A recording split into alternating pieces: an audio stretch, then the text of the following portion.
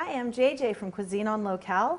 Today I'm going to show you how to do a really quick brine with pickling cucumbers. This is a fridge pickle. This is not the kind of pickle that you can can and keep for a long time. You have to eat them within a week, but it's a wonderful fresh recipe to take along to a potluck or a barbecue. What you do is you make a brine, and a brine is different from a pickle. A pickle is made with vinegar. Brine is just made with salt. So for your brine, what you're going to do is you're going to use one third of a cup of salt for a cup of boiling water. So I'm measuring out three cups of boiling water, two, one cup of kosher salt. You could pretty much use any kind of salt. Kosher salt is good for making dill pickles. It uh, melts easily into the water and it's not too expensive. You don't want to use a salt with iodine in it. There's no reason for us to use iodized salt anymore. We don't have goiter problems in this country anymore. So you're going to make sure that all of the salt is saturated into the hot water. Stir it until it's all dissolved. And then add ice cubes until the brine is cooled to about room temperature, or really until the ice cubes stop melting. Okay, once all of the ice cubes are dissolved, you need a jar. This is a classic ball jar. You can get them in any supermarket. Take a couple of cloves of garlic. You don't cut them, just break them a little bit, like that.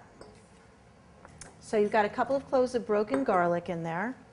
And then you take your cucumbers. Again, these are pickling cucumbers. Pickling cucumbers are just one of a lot of different kinds of cucumbers, but they're made to hold up when you pickle them. They don't get soft and mushy. Nobody likes a soft, mushy pickle. You can also use this recipe with other vegetables. It works with things like fennel.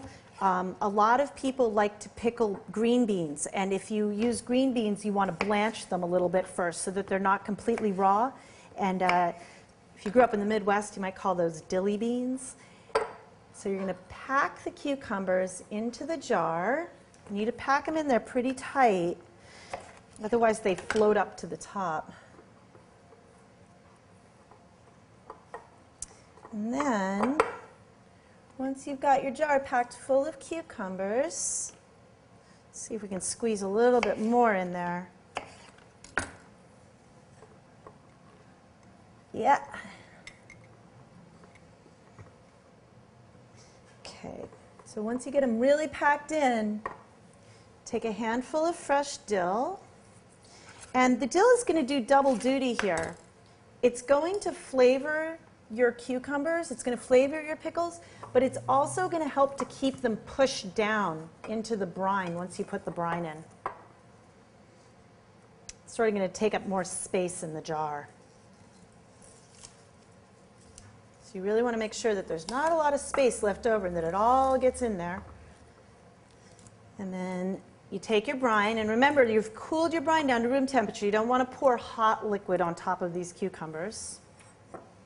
So it's a really salty brine. And you fill up the jar, nice and full. Put the lid on and the ring. Make sure it's on there nice and tight. And then I like to give it a little shake just to make sure that everything's in there okay. Now, you leave these out on the counter for about three or four hours and then put them in the refrigerator for about a day or two before you eat them. So if you're going to do these for a picnic, you want to do them a couple days in advance. They'll last in the fridge for about a week. You really can't keep them much longer. If you open them up and they go fizz, that means that they've gone too far and they've started to ferment. You need to throw them away at that point. If you open them up and they're too salty, what you can do is pour off the brine, replace it with a little bit of fresh water, and then they won't be quite as salty.